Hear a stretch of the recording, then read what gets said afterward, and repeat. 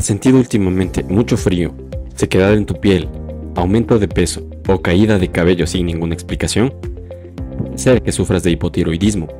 Toma asiento e infórmate sobre esta enfermedad que es muy común. Hola y bienvenidos a este primer video. En este canal abordaremos distintos temas enfocados de la salud. Trataremos de que sea lo más comprensible posible tanto para el público en general así como para estudiantes de medicina. Esto es Medicina y Acción y sin más que decir, comenzamos. La glándula tiroides es una glándula situada en la región anterior del cuello, debajo de la laringe. Consta de dos lóbulos simétricos en forma de mariposa, uno izquierdo y uno derecho, contiguos a los lados de la tráquea. Están unidos entre sí por el istmo, que es tejido tiroideo dispuesto en forma transversal. La función de esta particular glándula es producir hormonas tiroideas, muy importantes para el desarrollo tanto mental como somático del niño, así como para la actividad metabólica del adulto. ¿Qué es el hipotiroidismo? Hipotiroidismo es una condición clínica, una enfermedad, caracterizada por la producción o acción deficiente de las hormonas tiroides. Nosotros en el cerebro, a nivel del hipotálamo, tenemos una glándula llamada hipófisis. Esta glándula regula otras glándulas, pero en este, en este caso nos centraremos solo lo que hace a nivel de la tiroides. El hipotálamo libera TRH, que es la hormona liberadora de tirotropina, haciendo que la hipófisis produzca TSH, que es la hormona estimulante de la tiroides. Esta TSH, a su vez, a nivel de la tiroides, hace que se produzca dos hormonas, la T4 y la T3. Esto ocurre en condiciones fisiológicas normales, pero en el hipotiroidismo hay alteración en este mecanismo. Entonces, si la tiroides produce menos hormona T4 y T3, el hipotálamo capta la deficiencia de estas dos hormonas, liberando más TRH, lo que a su vez hace que la hipófisis produzca más TSH para que se compense esa deficiencia de T4 y T3. Sucede lo opuesto en el, en el hipertiroidismo. A todo este mecanismo llamamos retroalimentación negativa. Origen o clasificación. Puede ser hipotiroidismo de origen tiroideo o hipotiroidismo primario hipotiroidismo de origen hipotálamo hipoficiario o hipotiroidismo central o secundario e hipotiroidismo eh, periférico. El hipotiroidismo primario es sin duda la causa más frecuente, con más del 95% de los casos de hipotiroidismo, siendo el hipotiroidismo central y periférico causas muy raras, menos del 1% de los casos. Etiología. El hipotiroidismo primario es 5 a 8 veces más frecuente en mujeres que varones, y su causa principal en áreas donde no hay escasez de yodo es la tiroiditis de Hashimoto o, tiroiditis crónica autoinmune. Por otro lado, la deficiencia de yodo en otros lugares del mundo es también causa común de hipotiroidismo. La ingesta elevada de yodo y la menor exposición a microorganismos en la infancia incrementa el riesgo de hipotiroidismo autoinmune. La suspensión del tabaquismo produce un aumento transitorio de la incidencia, mientras que el consumo de alcohol parece ser protector, pero obviamente no estamos hablando de grandes ingestas de alcohol. Causas de hipotiroidismo primario. Tiroiditis crónica autoinmune o Hashimoto. Tiroidectomía, que es la extracción de la glándula tiroides por cirugía. Terapia con yodo. Exceso o deficiencia de yodo. Ciertos medicamentos como el litio, la miodarona. Enfermedades infiltrativas como la hemocromatosis o la sarcoidosis agenesia o disgenesia tiroidea, que es la ausencia de la glándula o alteración en la formación de la glándula, y defectos congénitos de la síntesis de hormona tiroidea. Causas de hipotiroidismo secundario. Debe sospecharse de un hipotiroidismo secundario cuando haya un tumor hipoficiario, pero como comentamos, el hipotiroidismo secundario es mucho menos frecuente que el primario. Signos y síntomas.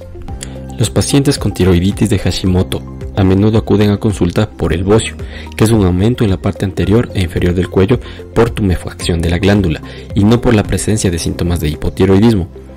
Los pacientes con tiroiditis atrófica y los que se encuentran en la fase tardía de la tiroiditis de Hashimoto presentan signos y síntomas de hipotiroidismo clásico. La piel está seca y existe una disminución de la sudoración. Aquí cabe mencionar una condición que es el mixedema, se puede dar tanto en el hipertiroidismo como en el hipotiroidismo. Y este se produce porque hay un aumento eh, del contenido de glucosaminoglucanos en la dermis atrapando agua y provocando un engrosamiento de la piel sin dejar fobia. En el mixedema existe palidez, a menudo con un tinte amarillento, como podemos observar en la imagen, por la acumulación de carotenos, que son pigmentos naturales de origen vegetal o animal, precursores de vitamina A y vinculados al cuidado de la piel. Se retrasa el crecimiento de las uñas, además existe alopecia difusa. El pelo está seco, quebradizo y se cae con facilidad. Hay adelgazamiento del tercio externo de las cejas, pero este no es un signo específico de hipotiroidismo, mucho cuidado. Otras características comunes son estreñimiento y aumento de peso, aunque el paciente tenga poco apetito. La libido o apetito sexual está disminuido en ambos sexos y puede haber oligomenorrea o amenorrea en la enfermedad de larga duración, pero la menorragia también es frecuente. La fertilidad disminuye y la incidencia de abortos espontáneos aumenta. Puede existir bradicardia, que es la disminución de los latidos cardíacos. El aumento de la resistencia periférica puede asociarse con hipertensión, en especial de tipo diastólico.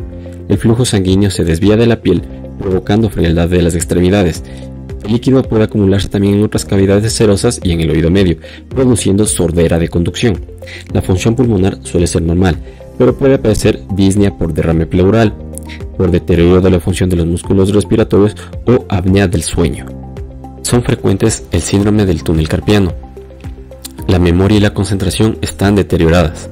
La disfonía y a veces emisión torpe de palabras en el hipotiroidismo reflejan acumulación de líquidos de las cuerdas vocales y la lengua.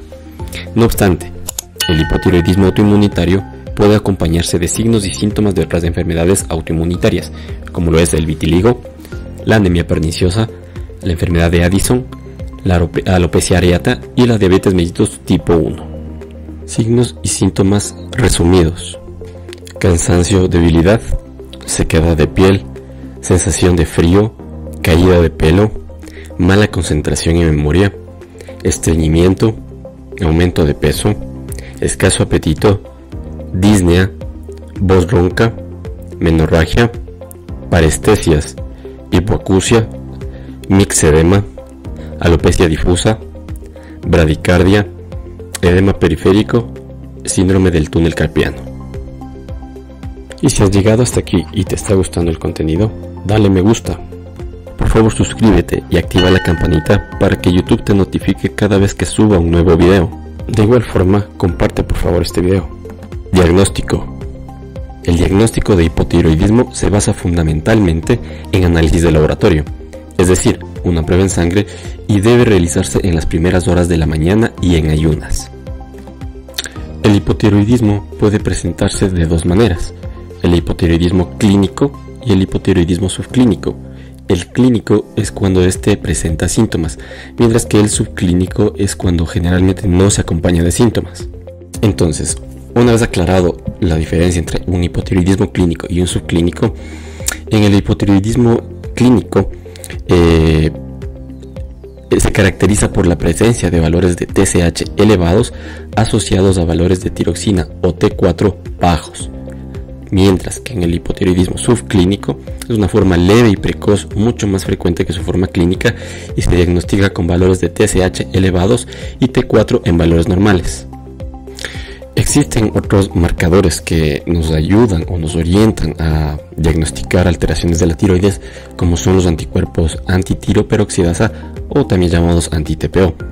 Pero recordemos que aproximadamente el 97% de los pacientes con tiroiditis de Hashimoto tienen concentraciones elevadas de anticuerpos anti-TPO. Por tanto, no es común que se envíe a realizar eh, estos exámenes a todos los pacientes.